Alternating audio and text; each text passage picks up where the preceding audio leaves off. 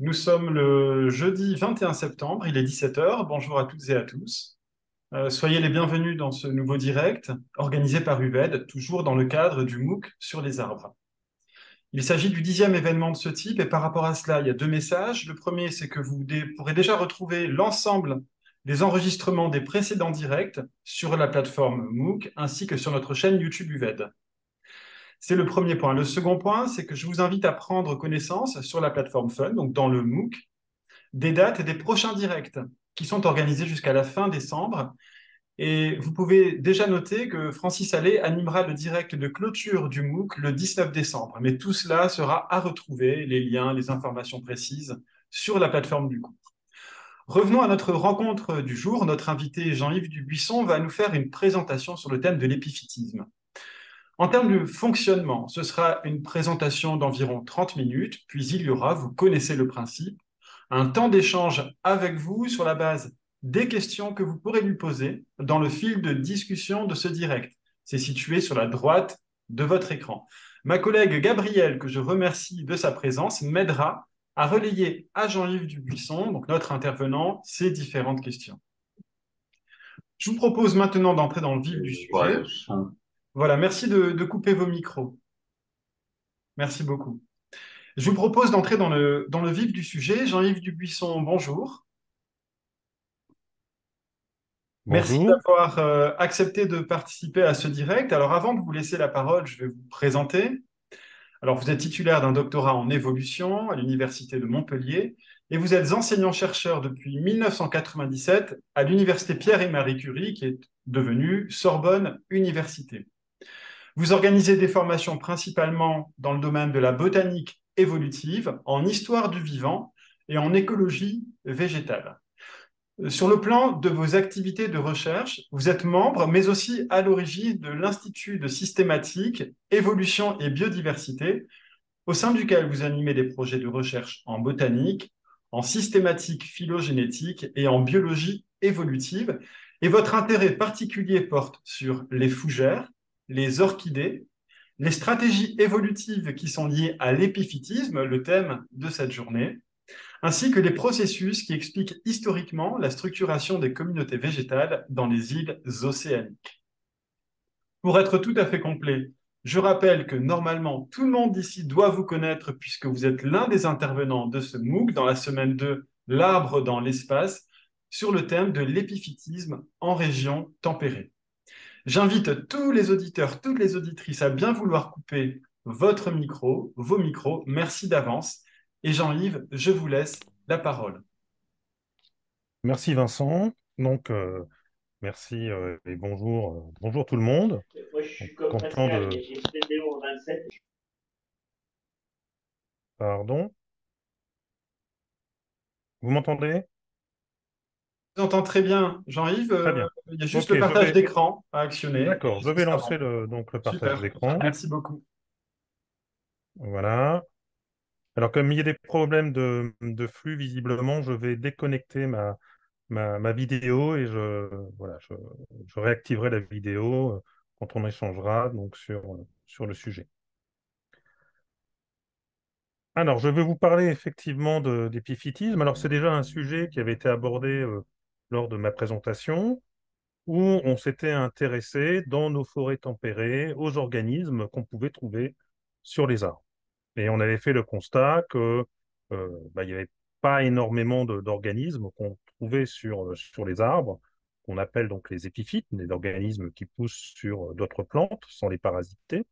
Alors, il y avait le gui qui est un cas particulier parce que c'est un parasite, mais les organismes non parasites, alors, on avait effectivement les lichens corticoles, euh, on avait quelques mousses, et on avait de façon exceptionnelle euh, quelques plantes vasculaires, comme ici un, polypode. Mais ce n'est pas dans les milieux tempérés que l'on va observer effectivement cet habitat très particulier qu'est l'épiphytisme. Là, par contre, vous voyez que nous ne sommes plus dans une forêt tempérée. Alors ici, nous sommes dans la Mata Atlantica, la forêt atlantique euh, brésilienne, donc une forêt tropicale humide. Et euh, si vous observez bien euh, les branches, il n'y a pas une surface qui ne soit recouvert par d'autres organismes que l'arbre lui-même. si on fait des zooms, on aura des mousses, on aura des hépatiques, on aura des lichens. Et comme vous pouvez le constater, on a également pas mal d'autres plantes, ici des broméliacées, qui sont donc des plantes à fleurs. Et puis si on pouvait zoomer un peu, on verrait également, on pourrait voir également pas mal de, fougères et, des orchidées. Et donc, euh, le fait que, l'on ait beaucoup d'épiphytes dans, les forêts tropicales, euh, eh ben euh, c'est parce que les, plantes ont cette capacité finalement à, pouvoir pousser euh, hors d'un sol et à pouvoir coloniser tous les substrats, et en particulier les, substrats euh, végétaux qu'offrent donc les arbres euh, dans une forêt. cet épiphytisme, on le trouve majoritairement dans les forêts humides, les forêts pluvieuses. Et effectivement, et vous allez comprendre assez vite, il y a une corrélation assez positive entre le degré d'hygrométrie, entre la pluviométrie et donc le climat euh, dans lequel on va observer ces, flores euh, et la diversité des épiphytes. En gros, plus le climat est humide, on pourra en rediscuter plus tard, et plus on va avoir des épiphytes dans les forêts, et plus ces épiphytes seront diversifiés. Alors, si on veut définir l'épiphytisme, donc euh, c'est une, une, redite, c'est une plante qui effectue son cycle de vie sur une autre plante, qu'on appelle le phorophyte, sans la parasiter. Donc ça, c'est pour effectivement euh, euh, exclure euh, ce qui est gui ou ce qui est parasite, qu'on appelle la parasite épiphyte. Mais ça, c'est un, autre, un autre sujet. Alors, on va distinguer l'épiphytisme vrai au sens strict de l'épiphytisme facultatif, parce que dans certaines conditions, on peut trouver une plante qui va se mettre à pousser donc au creux d'une branche, mais c'est pas son habitat euh, habituel. Dans certains cas, c'est observable. Et on va également exclure de nos exemples l'hémiépiphytisme primaire, euh, qui est un cas très particulier que je ne développerai pas ici, où vous avez des plantes qui peuvent germer sur d'autres plantes et qui vont ensuite rejoindre secondairement euh, le sol en développant des, racines. Et c'est le, cas bien connu des figuiers étrangleurs. si vous connaissez l'exemple, mais je ne développerai pas faire une, recherche sur Internet. Euh, c'est un sujet assez intéressant. Alors, il faut savoir que euh, une plante épiphyte, finalement, euh, elle est contrainte par son milieu, parce que c'est une plante qui n'a aucune connexion avec le sol, vu qu'elle pousse sur un arbre. En gros, son système racinaire, il sert à ancrer la plante sur l'écorce. Et donc, les racines sont nues et elles sont posées à même l'écorce. Donc il n'y a pas de relation avec le sol. Ce qui fait que euh, cet habitat particulier, qui est l'écorce euh, du tronc ou de la branche, c'est un milieu qui est théoriquement dessicant, parce qu'il y a un problème d'accessibilité euh, à l'eau et un problème également de, stockage de cette eau, où l'eau est stockée.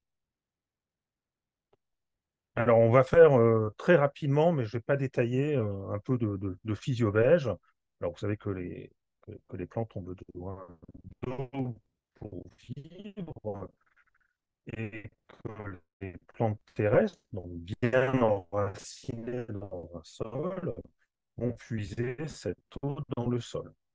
Et que la cirque de la plante euh, se fait généralement de façon passive et on a euh, est lié en fait à un différentiel de potentiel hydrique.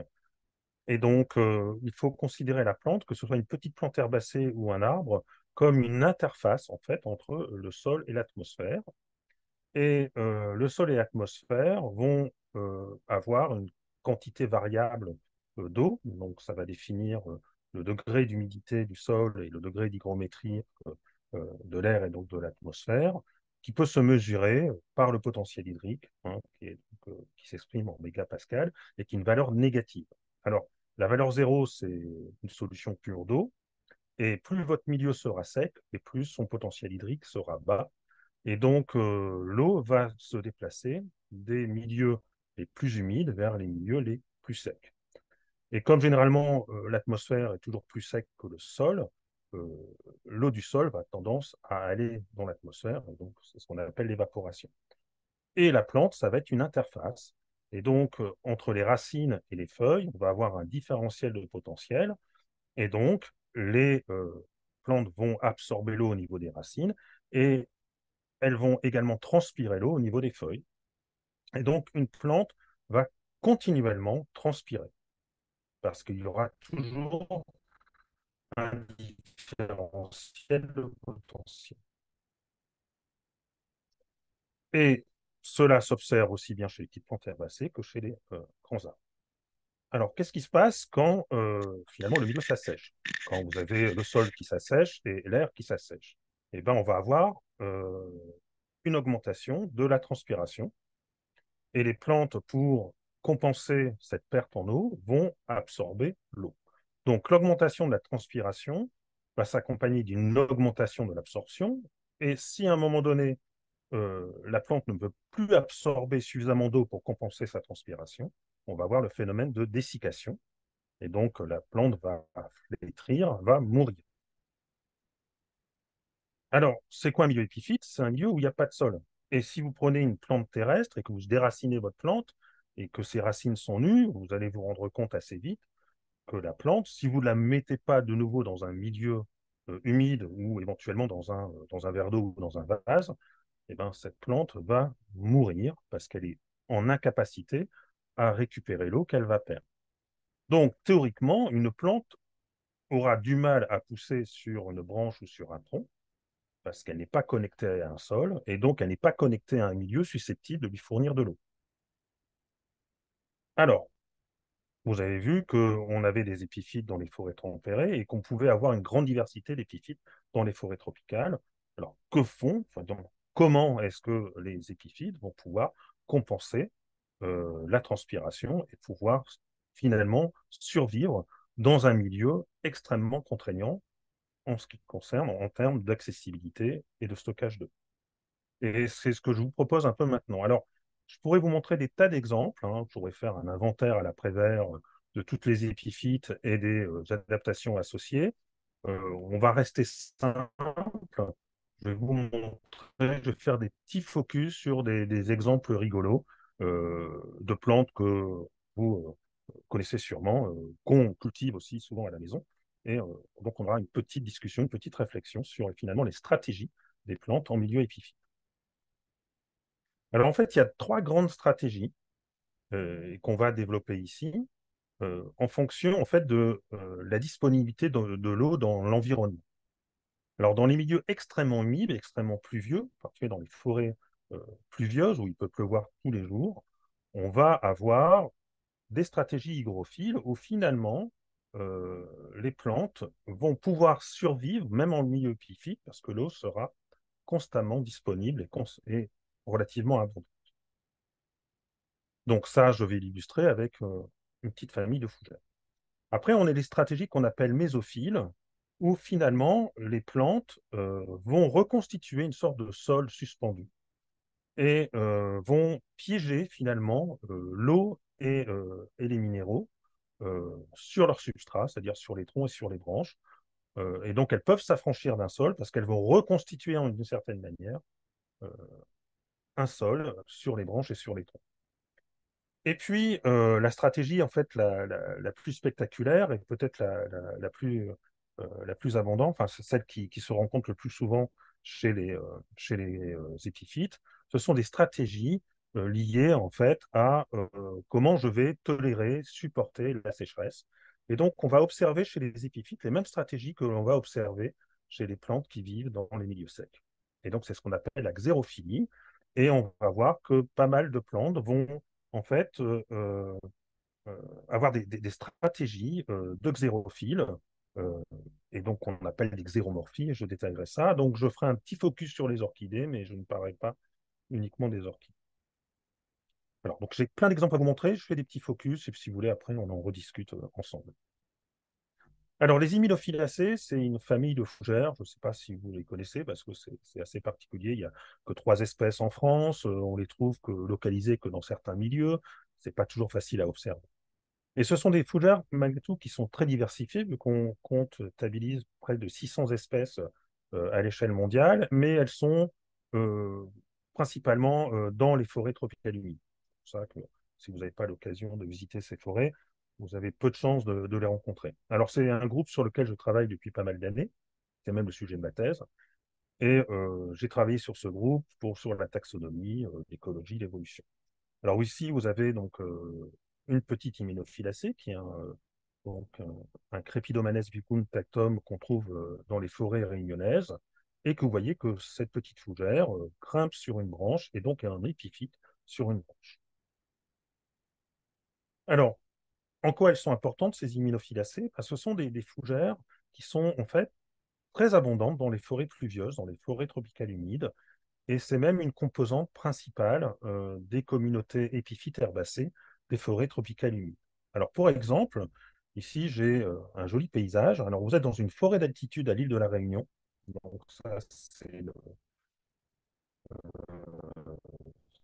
euh, ce qu'on appelle un milieu d'Avoun. Et comme vous pouvez l'observer, donc c'est un milieu c'est assez magique. Hein, donc un seul tronc, une seule branche, qui ne soit recouverte d'épiphytes. Alors ici, Beaucoup de ces épiphytes sont des, sont des petites mousses, en particulier des sphènes ou des hépatiques. Vous avez des orchidées, vous avez des fougères, et en fait, où sont les hyménophilacées Bon, un peu partout. Et c'est presque les épiphytes majoritaires dans ce type de milieu. Et on a en particulier ici deux espèces, Hymenophyllum inequale, Hymenophyllum capillare, dans cette végétation très particulière qu'on appelle euh, l'avou.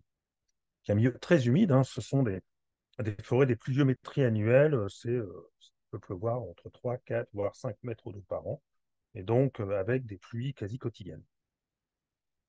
Alors, si on regarde en détail ces hyménophilacées, ben, ces hyménophilacées sont typiquement des plantes hygrophiles. En fait, elles ont des feuilles qui sont épais, épaisses d'une seule cellule d'épaisseur.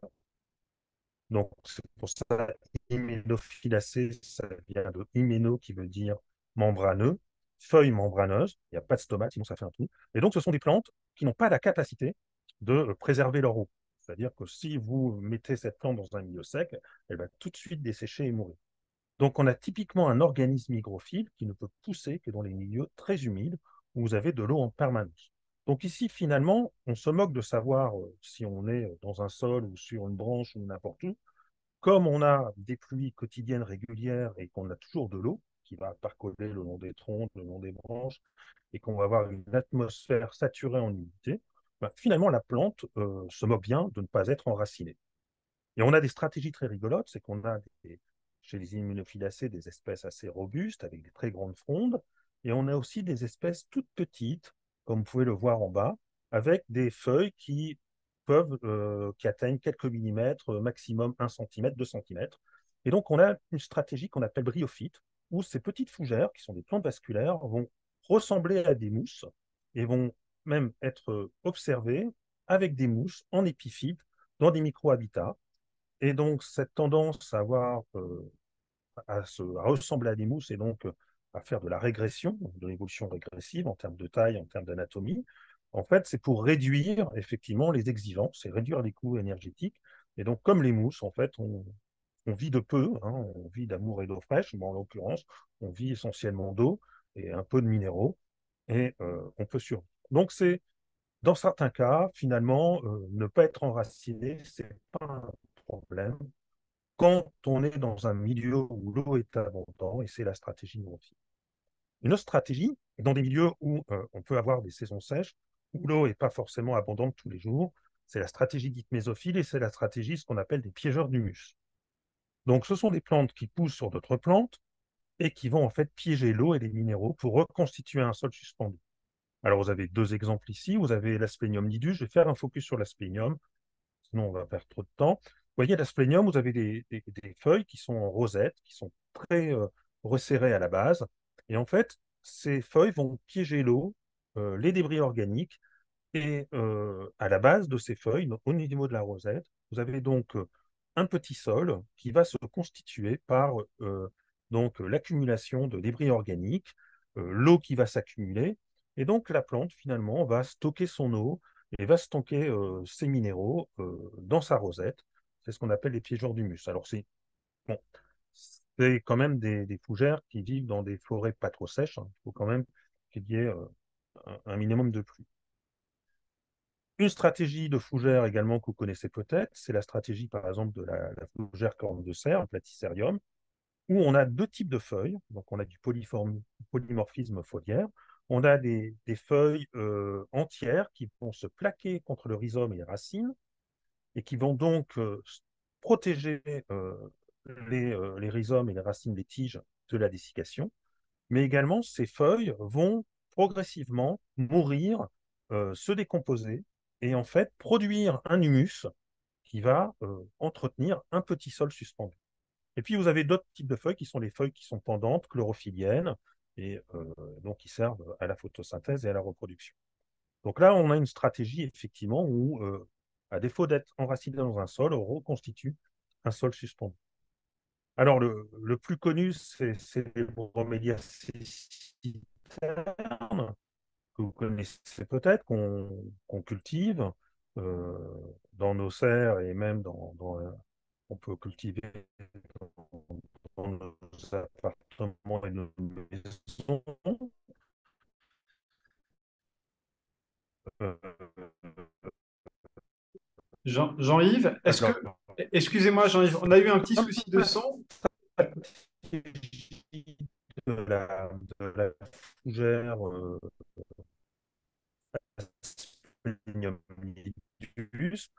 en fait, on a une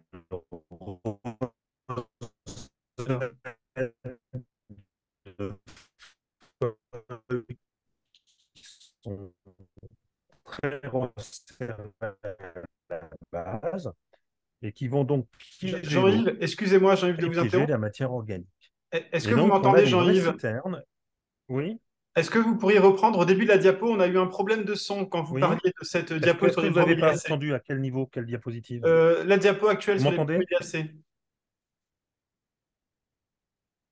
Celle qui est à l'écran. Allô, est-ce que Vincent, tu m'entends? Oui, très bien. Vous m'entendez, Jean-Yves? Est-ce que vous pourriez reprendre au début de cette diapositive sur les broméliacées, s'il vous plaît?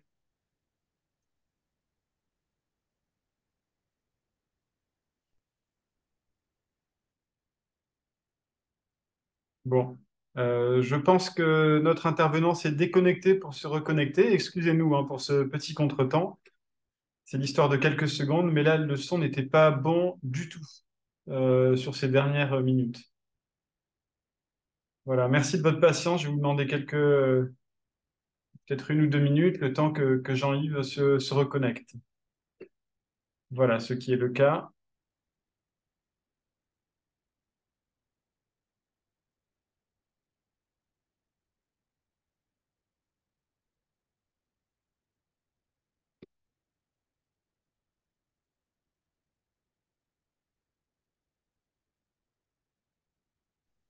Est-ce que vous m'entendez? Désolé, mais j'ai été déconnecté.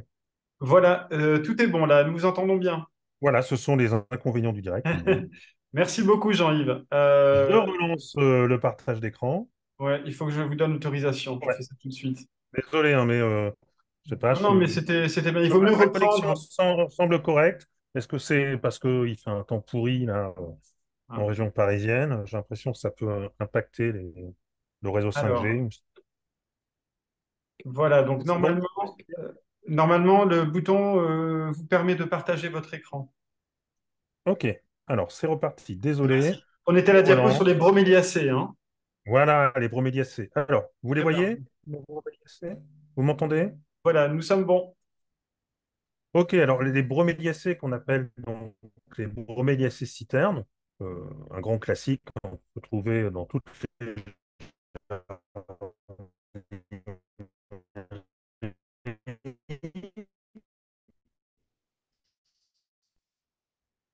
Bon, ça ne, ça ne fonctionne pas bien du tout.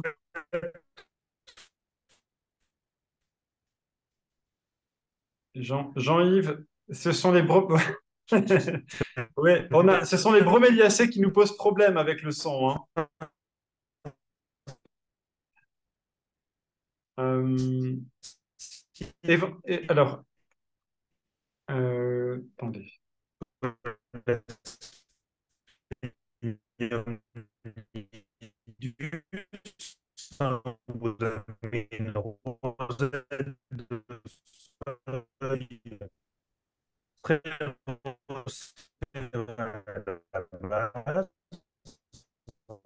Alors, Excusez-nous, Jean-Yves, est-ce que, est-ce que vous m'entendez, Jean-Yves? piéger l'eau de pluie Euh, nous, également la matière organique.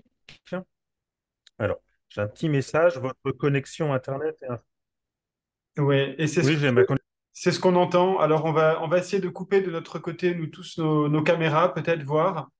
Mais on a un problème de son persistant hein, depuis que vous êtes reconnectés. Alors, merci à toutes et tous voilà, de couper votre caméra.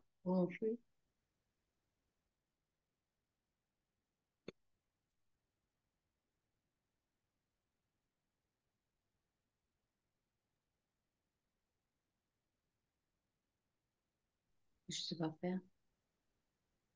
D'accord. Pour, euh, vous avez un bouton en bas à gauche, euh, le son, puis la, la- démarrer la vidéo sur lequel il faut cliquer. Ok, donc j'ai... Voilà. voilà, je suis à nouveau là, je suis vraiment désolé. Non, non, mais Euh, c'est pas grave. Alors, euh, Non, ce euh, qui est, ce qui est vraiment bête, c'est que de maman, j'aurais dû faire du boulot. Alors, je ne sais pas si vous savez, il y a Charles III qui visite le muséum. Donc, mon bâtiment n'est pas accessible et donc je n'ai pas pu aller au travail aujourd'hui. Ah, voilà. On a, On va dire que c'est la faute à Charles III. hein, on a l'origine du problème. Euh, en tout cas, on a l'air de vous entendre, Jean-Yves. Euh, je vous mets le partage d'écran. On va faire encore un test. hein. Ouais. Voilà.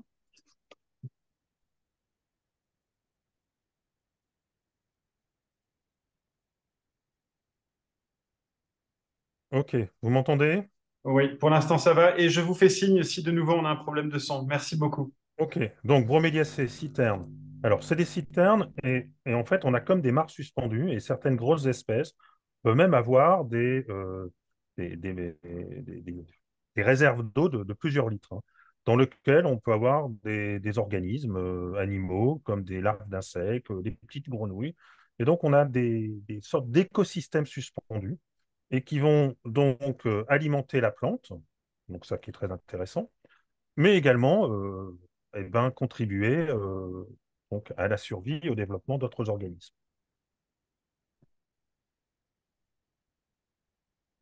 Alors, la troisième stratégie, c'est la stratégie xérophile. Alors là, je vous montre un cactus, hein, ce n'est pas une épiphyte, bien entendu, euh, en contexte de problèmes de, de disponibilité en eau, que vous avez un climat qui est sec, vous avez peu de pluie, vous avez le sol qui s'assèche, vous avez l'atmosphère qui s'assèche, eh ben, il y a deux stratégies euh, donc euh, les plantes peuvent adopter. Soit on limite les pertes en eau, alors en, rédu- en réduisant les feuilles, parce que généralement les, les, euh, plantes euh, perdent l'eau majoritairement par les feuilles. Donc on réduit les feuilles, on réduit le nombre de stomates, on met les stomates sur la face inférieure des feuilles, on les cache les stomates dans des cryptes, on met des, poils pour euh, limiter la dessiccation. Donc il y a un certain nombre de stratégies. Et ce qu'on peut faire également, c'est stocker l'eau ce qu'on appelle la succulence, c'est-à-dire qu'on va avoir des feuilles grasses ou des grosses tiges euh, dans lesquelles on aura des tissus, donc des parenchymes, qui vont stocker l'eau. Et donc, euh, la plante va pouvoir limiter euh, donc, les pertes en eau par l'eau qu'elle aura stockée, et elle va également limiter donc, la transpiration. Et très souvent, les plantes succulentes sont par défaut sclérophiles, mais les sclérophiles ne sont pas toutes succulentes. Alors, je vous parle de cactus, et c'est intéressant parce qu'on a des cactus épiphytes que vous connaissez peut-être. Par exemple, euh, le fameux cactus de Noël ou les épiphyllums sont des plantes qui, naturellement, poussent en épiphyte dans les forêts tropicales humides. Et si on fait une coupe, par exemple, dans, dans un ripsalis, qui est également un cactus épiphyte, on voit un gros cortex bien développé. Et en fait, dans ce cortex, on a des grosses cellules turgescentes qui vont stocker l'eau. C'est ce qu'on appelle la, succulence. Donc, on limite les pertes en eau avec une cuticule épaisse, avec des stomates protégés, avec éventuellement de la pilosité. Et on va stocker l'eau, l'eau qu'on va récupérer, l'eau de pluie, hein, dans des tissus hypertrophiés, euh, des feuilles ou des tiges. Chez les cactus, en l'occurrence, ce sont des tiges. Voilà, donc c'est... euh, et d'une certaine manière, finalement, euh, les cactus sont déjà ancestralement xérophiles, donc ils sont prédisposés finalement à euh, coloniser le milieu épiphyte. Et on a pas mal d'espèces de cactus qui sont épiphytes. Alors, je vous ai parlé, les cactus illustrent ce qu'on appelle la succulence collinaire. On a également la succulence foliaire et on a ici un petit exemple hein, de plantes qu'on peut trouver en jardinerie, qui sont les pépéronias de la famille des pipéracées, donc euh, un genre proche du poivre, on a des, feuilles succulentes, des feuilles grasses, des feuilles, des feuilles épaisses. Alors, quand on les achète en jardinerie, elles sont dans des pots. Mais en fait, dans la nature, on les trouve majoritairement en épiphyte. Et là aussi, alors, vous voyez, les, les, feuilles sont cireuses, sont brillantes, c'est parce qu'elles ont une cuticule épaisse avec des cires qui limitent en fait euh, la perte en eau, hein, donc la cuticule plus ou moins imperméable.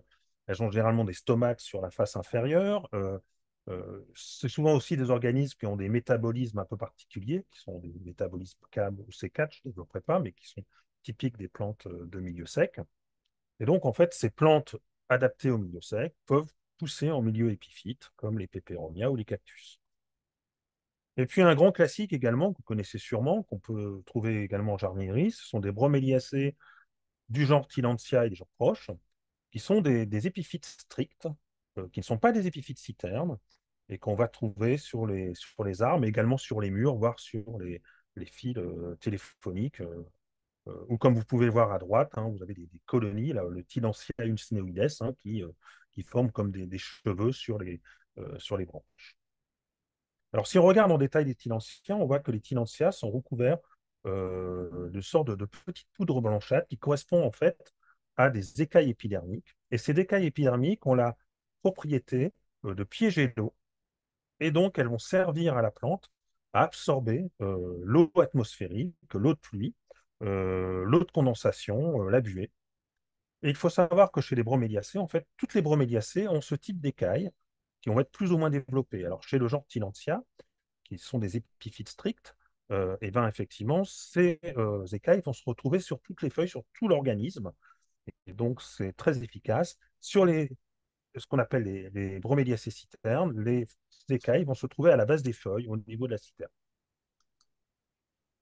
En fait, les, les broméliacées ne sont pas majoritairement épiphytes, c'est une famille d'espèces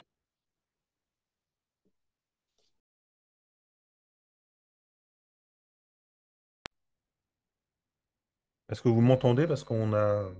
Oui, c'est bon. Oui, Votre désolé. micro a été désactivé, mais là, c'est bon, Jean-Yves. Vous pouvez continuer. Super. Donc, les broméliacées sont majoritairement terrestres et vous en connaissez une, c'est l'ananas. Et quand vous allez voir les ananas, ils ne poussent pas sur les arbres, ils poussent à plein le sol. Donc, finalement, les broméliacées sont des plantes de milieu terrestre, des plantes adaptées à la sécheresse. Donc, ce sont des xérophytes terrestres. Et euh, elles ont colonisé le milieu épiphyte parce qu'elles étaient prédisposées euh, à coloniser cet habitat et à supporter la sécheresse.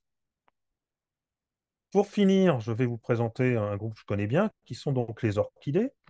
Alors les orchidées, ben, il faut savoir qu'il y a plus de deux tiers des espèces qui sont épiphytes. Chez nous, les orchidées sont terrestres, mais en milieu tropical, elles sont épiphytes. Ici, un joli bulbophyllum qu'on trouve à l'île Maurice.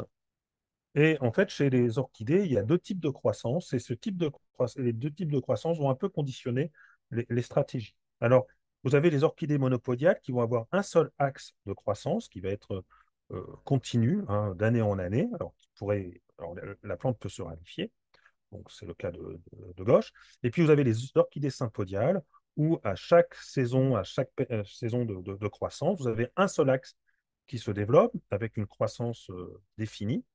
Et en fait, l'année suivante, vous avez un petit bourgeon à la base qui va redonner un nouvel axe. Et donc, on va avoir comme ça des colonies de taxes euh, chez les sympodiales. Alors, quelle stratégie on observe? Eh bien, les orchidées épiphytes sont des xérophiles parce qu'elles vont limiter les pertes en eau via, dans certains cas, de la succulence euh, foliaire. On va avoir, par exemple, des feuilles assez épaisses. C'est le cas, par exemple, chez les Cattleya. Euh, mais elles vont surtout développer ce qu'on appelle des pseudobulbes, c'est-à-dire de la succulence collinaire. Alors, en faisant intervenir plusieurs nœuds, comme on peut le voir euh, sur les schémas de gauche et du milieu, ou en faisant intervenir qu'un seul, un seul entre-nœud, comme on voit chez le bulbophyllum. Alors, à quoi sert cette succulence? Eh ben, Vous savez, ben, c'est pour stocker l'eau. En fait, les, orchidées épiphytes vivent souvent dans des forêts euh, tropicales, donc euh, à saison marquée, euh, avec une saison de pluie et une saison sèche. Pendant la saison des pluies, elles vont faire leur croissance végétative, elles vont stocker l'eau qu'elles vont pouvoir récupérer. Et donc, elles vont passer la saison sèche grâce à l'eau qui est stockée dans ces organes succulents qu'on appelle pseudocanes ou pseudobulbes. Et ces pseudocanes et ces pseudobulbes ne s'observent en fait que chez les formes sympodiales.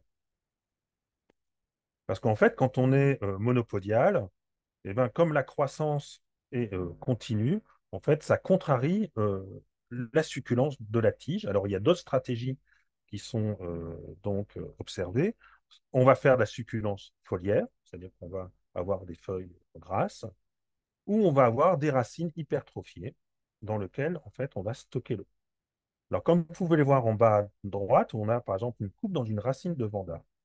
Et on voit qu'on a les tissus conducteurs au centre, on a un cortex, et au-dessus du cortex, on a un tissu particulier, supplémentaire, qu'on observe que chez les orchidées, mais également chez d'autres groupes, mais qui est vraiment typique des orchidées, c'est ce qu'on appelle le voile ou le vélamen, où on a plusieurs acides de cellules mortes à maturité qui vont avoir la capacité à absorber et à stocker l'eau.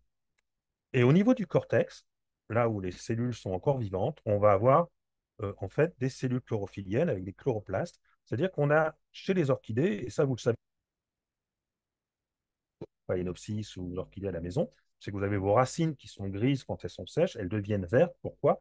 Parce que en fait, on voit par transparence euh, les cellules euh, chlorophylliennes, et donc les orchidées épiphytes ont la capacité de faire de la photosynthèse via leurs racines, et ce qui explique pourquoi on va trouver également des orchidées aphiles épiphytes, comme vous voyez l'exemple en haut à droite, où en fait on a une tige, on n'a pas de feuilles. Donc, en finalement, sans les feuilles, on limite les pertes en eau. Donc, c'est une adaptation à la sécheresse. Et on va stocker l'eau uniquement au niveau des racines et des tiges. Et ce sont les racines qui vont faire la photosynthèse à défaut de feuilles. Donc, c'est une stratégie très particulière qu'on va observer chez les orchidées épiphytes. Alors voilà, je vous ai fait donc un petit inventaire euh, un peu détaillé des principales stratégies. Il y en a plein, plein, plein. Il y a, des tas de choses que je pourrais raconter, mais je voulais vous montrer des choses euh, assez rigolotes, euh, assez significatives, assez, assez, assez parlantes. Et concernant des plantes que vous connaissez et que vous êtes susceptibles de pouvoir cultiver, parce que ce sont des plantes qu'on peut trouver effectivement en jardinerie et qu'on peut cultiver dans, nos, dans serres tropicales ou même dans nos appartements ou dans nos maisons. Voilà, donc il n'y a pas de, diapositive de conclusion, parce que je pense que la conclusion, on va la, on va la faire ensemble avec la, discussion qui va suivre. Je vous remercie pour votre attention. Merci infiniment, Jean-Yves. Euh, et c'est un, grand voyage que vous nous avez proposé avec toutes ces, toutes ces formes d'épiphytisme. Euh, est-ce que... Ah voilà, je vois que vous êtes toujours connecté, et heureusement parce que je vais déjà vous poser deux questions. Euh, qui sont plutôt liées à la physiologie de ces, de ces plantes. La première, est-ce que vous pourriez expliquer, revenir sur le principe des plantes succulentes? Comment est-ce qu'elles stockent de l'eau? Et l'autre question, c'est que vous avez parlé de l'approvisionnement en eau, mais il y a également d'autres facteurs, hein, la lumière, mais surtout, et c'est une question qui est posée sur l'approvisionnement en nutriments comme l'azote, euh, quelles sont les différentes stratégies que l'on observe? Alors, il y a beaucoup de stratégies. C'est très complexe. En fait, on a autant de stratégies qu'on a de, lignées. Alors, au niveau du stockage de l'eau, alors, on a, les, l'eau est stockée dans ce qu'on appelle des cellules qui sont peu spécialisées, qui sont des, cellules qui sont assez grosses, avec une grosse vacuole. Et en fait, l'eau est stockée donc, dans, les, les vacuoles des, cellules qu'on appelle des parenchymes, qui sont des parenchymes aquifères. Donc, c'est des parenchymes qui vont stocker l'eau au niveau des vacuoles. Et en fait, le, principe, c'est un principe de, potentiel hydrique, c'est que souvent, dans les vacuoles, on a, on a pas mal de, substances qui vont faire que les, euh, que les vacuoles vont, être, euh, vont avoir un milieu très concentré. Et donc, comme le milieu est très concentré, en fait, l'eau va avoir tendance à rentrer dans la cellule, et donc la cellule va être turgescente, et donc elle va être riche parce qu'elle va avoir une vacuole qui va être remplie d'eau. Et donc, toutes les plantes qui font de la succulence foliaire ou collinaire ont, cette stratégie qui est de vraiment euh, stocker l'eau euh, dans un parenchyme, qu'on appelle le parenchyme aquifère. Et comme ça, cette eau est ensuite disponible euh, quand la plante a besoin d'eau, si l'eau ne peut pas être récupérée dans le milieu. Donc c'est un stockage. Alors c'est souvent au niveau cortical, au niveau du cortex. Hein. Chez les plantes vasculaires, on a au niveau tige généralement une moelle, des tissus conducteurs, et en fait l'eau se, stocke principalement euh, au niveau du, cortex. Alors, et le cortex, il est assez gros, il est hypertrophié par rapport à une plante qui n'est pas succulente, qui va avoir euh, un cortex plus ou moins développé. Donc, on, si, on compare des organismes d'une même famille, euh, une succulente, une non succulente, on va avoir un cortex hypertrophié avec des cellules hypertrophiées qui sont des cellules de stockage d'eau, qui vont stocker l'eau. Alors, l'autre euh, sujet, c'était euh, les alors, nutriments et l'azote, voilà. Donc, en fait, ce sont des, des plantes qui sont dites oligotrophes majoritairement, c'est-à-dire qui ont besoin de, de peu pour vivre et, et, et qui n'ont pas besoin de beaucoup de nutri- de- de- de- d'azote pour, euh, pour leur, pour leur croissance. Alors, euh, certaines plantes euh, compensent ça en faisant des, des associations symbiotiques. Chez les orchidées, par exemple, on peut avoir de la mycorhize, des, mycorhizes. Donc, ce sont des... Et donc, en fait, c'est champignons qui va euh, produire donc, euh, les minéraux. Euh, chez les piégeurs d'humus, eh ben, finalement, le, euh, le, sol suspendu, euh, l'humus, euh, associé avec des micro-organismes, des bactéries et, et toute une microfaune, bon, effectivement, il va y avoir une minéralisation de la matière organique que la plante va récupérer. Donc, chez les piégeurs d'humus, euh, qui sont les plus nitrophiles, entre guillemets, c'est pas, c'est pas un souci. Euh, par exemple, mais les tilantias, bon, les tilantias, euh, elles vivent de rien, quoi. De l'eau, euh, du CO2, euh, quelques minéraux voilà, apportés par le pluie. et c'est donc c'est des stratégies oligotrophes. D'ailleurs, en fait, on n'est pas très exigeant en termes de, nutrition azotée, comme beaucoup de, de plantes vivant dans les milieux extrêmes. Alors, euh, on va sortir du, du domaine de la physiologie, peut-être au niveau de la répartition de ces, de ces épiphytes. Euh, une question, celle de Renaud. Les deux ou trois hyménophilacées métropolitaines sont-elles aussi des épiphytes? Alors, ce ne sont pas des épiphytes, ce sont des saxicoles, c'est-à-dire qu'elles poussent sur les rochers. Ah, qui est en fait un milieu qui n'est pas très différent du, du- du milieu corticole. Donc, euh, et ce sont des, des- en fait, c'est très, très intéressant parce que en fait, les, les et les ou Vandenboschia euh, tempérés euh, sont issus de lignées épiphytes. En fait, ce sont des populations reliques de, formes épiphytes qui étaient épiphytes dans les forêts du tertiaire, qui étaient les forêts subtropicales euh, qu'on trouvait en Europe, donc au tertiaire. Et avec donc le refroidissement, les glaciations, ces formes ancestralement épiphytes sont devenues saxicoles en contexte tempéré. Et en fait, beaucoup d'hyménophilacées euh, euh, épiphytes peuvent être également saxicoles, et les saxicoles sont apparentés aux épiphytes parce qu'on a les mêmes contraintes du milieu dans un, sur un rocher humide ou sur un tronc humide. Euh, c'est à peu près le, même type de milieu. Donc, en fait, les, les, les, les, hyménophilacées tempérées sont des saxicoles, c'est-à-dire poussent sur les rochers, mais issus de lignées épiphytes, qui est euh, évolutivement euh, intéressant. Et c'est des choses qu'on étudie au laboratoire, voilà, ces, ces aspects. Il y a une thèse en cours hein, sur l'évolution de l'épiphytisme chez les hyménophilacées, où on aborde cette, euh, cet aspect-là. Donc, on a- voilà, on a- les, résultats ne sont pas encore formellement publiés, mais c'est une question intéressante. Sur le plan de l'évolution, Jean-Yves, la question peut se poser aussi quand vous avez parlé des orchidées à la fin. On a des orchidées en milieu tempéré en France, hein, Oui, mais il semble qu'elles ont un système racinaire qui est dans le sol. Oui. Euh, là aussi, est-ce que ces orchidées actuellement dans le milieu tempéré dérivent de formes épiphytes ancestrales ou qu'est-ce que, comment tout ça est... Alors, il y avait une question, j'ai cru voir, c'est qu'effectivement, alors pourquoi il n'y a pas beaucoup d'épiphytes en milieu tempéré? C'est parce que ce sont des plantes herbacées qui sont euh, généralement gélives, et donc en fait, c'est le gel qui contraint euh, la distribution des épiphytes à l'échelle du globe. Et c'est pour ça qu'on a principalement des épiphytes qui sont principalement des herbacées dans les milieux tropicaux où il n'y a pas de gel l'hiver. À partir du moment où vous avez du gel l'hiver, effectivement, il y a d'autres stratégies. Et donc, euh, quand vous êtes une petite plante herbacée sur une branche qui va subir le, gel l'hiver, euh, euh, voilà, c'est très compliqué. Donc, donc, ce qui fait que les herbacées dans, les milieux tempérés sont plutôt des plantes terrestres et qui vont passer la mauvaise saison euh, sous forme de graines ou via des stratégies comme des rhizomes, des cornes, des bulbes, voilà, cette stratégie-là. Alors, les orchidées terrestres du milieu tempéré sont des orchidées qui n'ont jamais été épiphytes et qui ont développé donc des stratégies de résistance au froid hivernal euh, via des, euh, bulbes, des cornes, euh, des rhizomes souterrains. Donc, euh, stratégie classique de plantes herbacées de milieu tempéré et de milieu froid. Euh, il y a en fait les, les, les épiphytes font partie du, groupe des épidendroïdés, où là on a principalement des épiphytes, et on a des retours donc au milieu terrestre. Et en fait, les orchidées, quand elles retournent au milieu terrestre, vont soit perdre les pseudobulbes, soit les conserver dans un contexte donc saisonnier, saison sèche, saison humide. Et les plantes, les orchidées terrestres des milieux tempérés, c'est le groupe des orchidoïdes qui est à part et qui, effectivement, là, sont des orchidées qui ont toujours été finalement terrestres. Je ne sais pas si j'ai répondu à la question.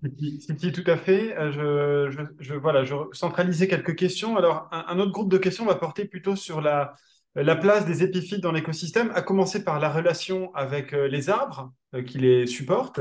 Qu'est-ce que vous pouvez nous dire à, ce sujet-là? Et plus généralement sur les fonctions écologiques assurées par les épiphytes dans un écosystème donné Alors, ça, c'est un sujet qui, qui, est pas mal étudié en ce moment avec voilà, on est encore dans, l'exploration. Alors, il faut savoir que sur, sur un arbre tropical, en, zone tropicale, on a, on a une stratification des épiphytes.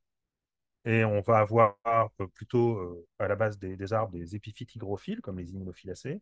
On va avoir plutôt en, position médiane ce qu'on appelle des, des piégeurs d'humus. Et on va avoir effectivement au niveau de la canopée, c'est-à-dire à, l'extrémité le plus haut dans l'arbre, plutôt des xérophiles. Parce qu'effectivement, on a un gradient d'humidité hein, de, la canopée jusqu'au sous-bois dans les forêts tropicales. Et donc, euh, plus c'est plus humide d'en bas et moins contraignant euh, qu'au niveau de la canopée où les plantes euh, subissent directement la respiration, enfin la transpiration est jour ou pas. Allô, allô? Ouais, alors si vous voulez bien, Jean-Yves, on va reprendre au début de votre réponse parce qu'il y a eu un petit problème de son. Mais il y a 30 secondes à peine. Hein. C'est ça, voilà. Donc, en fait, on a une stratification au niveau des arbres avec des, plutôt des épiphytes hygrophiles euh, sur la base des troncs, des mésophiles piégeurs d'humus en position médiane et plutôt des xérophiles, donc euh, tolérantes à la sécheresse au niveau de la canopée. Parce que vous avez un gradient également euh, d'humidité entre la canopée et le sous-bois tropical. Donc, il y a une stratification qui est très intéressante et qui est donc euh, écologique et liée au positionnement de l'épiphyte sur l'arbre. Alors, les arbres, euh, d'avoir des épiphytes, ça ne les dérange pas, euh, sauf parfois s'il y a une, grosse charge, les branches peuvent casser, mais globalement, ça ne les dérange pas. Ce qui est intéressant, c'est que, voilà, que dans l'écosystème forestier, vous avez donc l'arbre en lui-même, vous avez le sol, qui est, donc avec, et, qui est d'une biocénose en soi, et en fait, euh, toutes ces épiphytes, à différents niveaux sur l'arbre, vont créer des, petits écosystèmes qui vont abriter euh, une faune, une flore particulière. Et donc, les plantes épiphytes, eh ben, elles hébergent, elles ont des, elles ont des, des, commensaux, elles ont des insectes, elles ont des, petits invertébrés, il y a des vertébrés. Donc, en fait, elles vont contribuer effectivement à enrichir et à la diversité euh, tropicale, parce que vous avez la diversité forestière, vous avez la diversité au niveau du sol, vous avez des grands mammifères et grands animaux, vous avez les animaux arboricoles, mais vous avez également toute la faune associée à ces plantes épiphytes. Et l'exemple vraiment flagrant, c'est les orchidées citernes qui vont créer des mares suspendues, des mares qui vont être dans les arbres, et, vous avez tous les écosystèmes aquatiques associés à certaines euh, broméliacées. Et vous avez même ce qu'on appelle des jardins de fourmis, dans certains cas, où euh, quand vous avez plusieurs plantes qui s'associent, qui entremêlent leurs racines, euh, vous avez également des, colonies de fourmis qui vont s'installer dans les racines des plantes. Et vous avez également des stratégies de myrmécophilie euh, chez les plantes épiphytes, où les plantes épiphytes vont euh, héberger, accueillir des colonies de plantes qui vont protéger la plante, amener des nutriments à, la plante et également protéger l'arbre parce que, voilà, à la fois les, fourmis protègent les épiphytes et l'arbre qui porte les épiphytes des ravageurs euh, et, des, euh, et des prédateurs. Donc, c'est tout un écosystème. alors, c'est une multiplicité de petits écosystèmes apportés par toutes ces, ces, plantes qui vont pousser, recouvrir les branches, les troncs, et donc enrichir donc, les réseaux trophiques, les interactions, les mutualismes. Et voilà. Donc, si vous voulez, dans les, dans les forêts tropicales, grâce à l'épiphytisme, en fait, on a vraiment euh, un monde en, 3D à tous les niveaux, euh, du sous-bois euh, à la canopée. Alors, je ne sais pas si j'ai bien répondu, c'est une vision très, très, très large. On pourrait un peu plus en détail sur quel est le, quels sont les rôles écosystémiques vraiment particuliers, mais je pense que c'est très complexe et qu'il y a beaucoup de, beaucoup de choses à dire et de cas très particuliers. On, peut considérer, vous aviez présenté dans votre vidéo de MOOC, vous aviez dit euh, que le facteur limitant, c'était plutôt la lumière en zone tropicale et le gel en zone tempérée, c'est ça? Et mhm. l'épiphytisme, c'est un moyen aussi d'accéder peut-être à la lumière pour ces plantes? Tout à fait, tout à fait. Alors, effectivement, euh, les, pas mal d'orchidées épiphytes. Alors, les orchidées ont, sont, majoritairement héliophiles. Bon, les orchidées de sous-bois qui se portent très bien, mais majoritairement les orchidées sont héliophiles et ont besoin de lumière pour leur, euh, reproduction. D'ailleurs, si vous cultivez des orchidées tropicales, certaines orchidées sont chiantes à faire fleurir, excusez-moi l'expression, si vous n'avez pas euh, des éclairages supplémentaires, si vous n'êtes pas en serre, euh, il est très difficile de faire offrir certaines orchidées, par exemple dans des appartements sombres, parce qu'il y a un problème de, lumière. Et donc, les, orchidophiles savent qu'il faut beaucoup de lumière pour faire fleurir certaines orchidées. Dans un milieu forestier, effectivement, où est la lumière? Ben, La lumière, elle est, elle, est, elle est accessible au niveau de la canopée. Et donc, euh, les épiphytes de canopée sont souvent des espèces héliophiles qui ont besoin de lumière euh, pour faire leur cycle de vie et leur reproduction. Et donc, c'est une façon, effectivement, d'accéder à la ressource lumineuse. Alors, il y avait un thème dans le MOOC qui est très souvent revenu, c'est celui bien sûr de, la relation entre les arbres, les forêts le changement climatique. Euh, quand on voit les types de fonctionnement des épiphytes, notamment le, modèle un peu hygrophile, euh, est-ce que vous pouvez nous parler de la vulnérabilité actuellement bah, des épiphytes à des changements de régime de précipitation que l'on peut observer? Euh, Alors, c'est clair. par exemple, il y a des études qui ont, été faites dans les, forêts tropicales humides où on a comparé la diversité des épiphytes dans une forêt primaire, donc euh, préservée, et dans les forêts secondaires associées ou les forêts anthropisées qui sont, euh, qui sont dégradées, qui sont ouvertes et compagnie. Et les premières communautés d'organismes qui déclinent en termes de, nombre d'individus, de population et de diversité, ce sont les communautés épiphytes. Donc, les, les communautés épiphytes sont vraiment associées donc, souvent aux forêts primaires. Plus, plus les forêts sont préservées, plus les forêts sont, stables, et, plus elles sont riches en épiphytes. Et quand le milieu est perturbé, ce sont les, communautés qui disparaissent, et en particulier les immunophyllacées, ça c'est typique. Moi j'ai fait des comparaisons à l'île de la Réunion sur des parcelles, euh, disons, pas trop anthropisées et des parcelles anthropisées. On a comparé la diversité et c'était euh, significatif. C'est-à-dire qu'on avait euh, dans les parcelles anthropisées beaucoup moins d'individus, beaucoup moins d'espèces.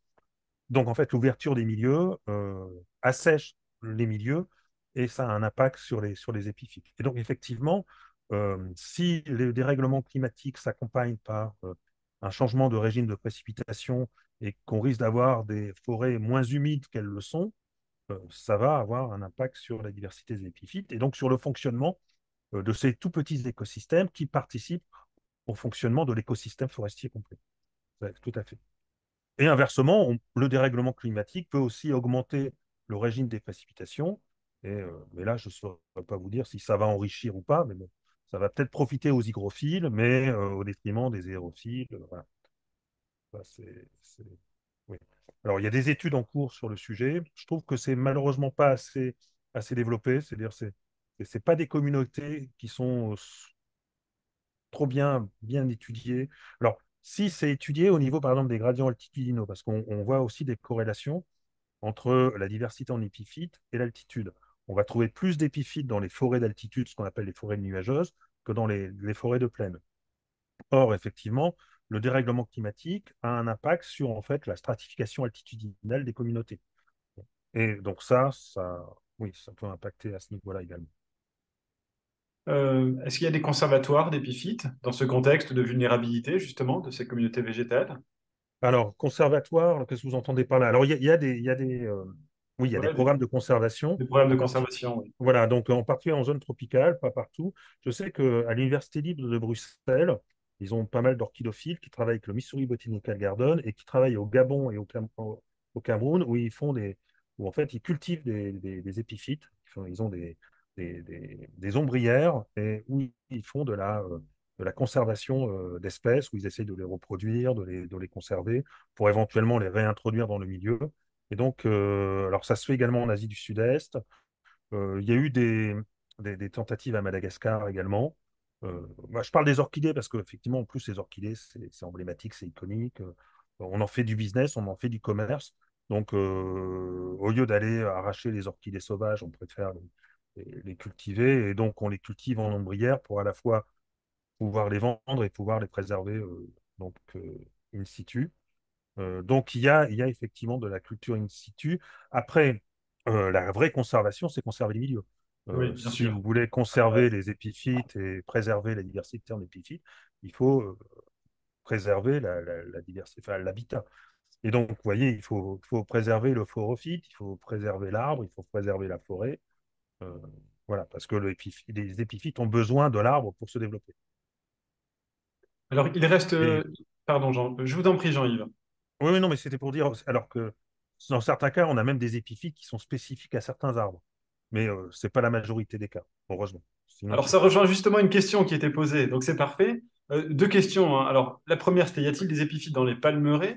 On voit souvent en des palmiers, il y a beaucoup de choses qui poussent, mais est-ce que c'est du véritable épiphytisme? Est-ce qu'il y en a en tout cas? Et la deuxième, plus largement, les épiphytes ont-elles des arbres préférés? Oui, alors, il y a des épiphytes sur, toutes les plantes qui, qui, forment un tronc, que ce soit un tronc, un mauvais tronc, un vrai tronc avec du bois ou un faux tronc. Donc, il y a des palmiers, il y a des épiphytes sur les palmiers, il y a des épiphytes sur les fougères arborescentes.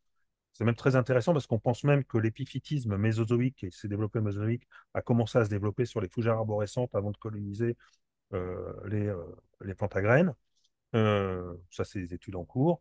Et il y a des, donc des épiphytes sur, euh, sur des conifères et sur des angiospermes, mais majoritairement sur les angiospermes.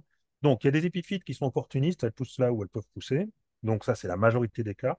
Mais on observe effectivement certaines espèces qui vont avoir des, des arbres préférentiels qu'on va trouver euh, soit uniquement sur un type d'arbre ou soit sur, euh, majoritairement sur un type d'arbre et un peu sur des arbres à côté.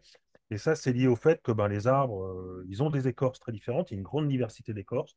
Et donc, euh, ben, l'épiphyte, pour se développer en épiphyte, il faut qu'elle germe sur l'épiphyte quand c'est une plante à graines. Il faut que le, le protal, quand c'est une fougère, se développe également sur le tronc. Et donc, euh, le, tronc est un substrat et il faut que ce substrat soit, euh, permette la germination. Et donc, pour certaines espèces, euh, la germination ne peut se faire que sur certains substrats, donc sur certaines écorces. Donc, on pense qu'il y a une relation. Et après, il y a aussi les, champignons qui, qui, interviennent beaucoup, en particulier chez les orchidées, où effectivement, les, graines d'orchidées ont besoin d'un champignon pour la germination. Et donc, ces, ces, ces, champignons, alors il y a des études en cours hein, dans mon laboratoire. Ça, c'est les études que, que font euh, Marc-André Sellos et Florent Martos euh, dans notre unité, c'est de voir s'il y a une spécificité champignon et épiphyte. Et donc, effectivement, les champignons ne vont pas pousser sur tous les arbres, sur n'importe quelle écorce. Et donc, on va, et donc, les orchidées ne vont pas forcément se trouver sur n'importe quel substrat, parce qu'il y a également cette contrainte-là.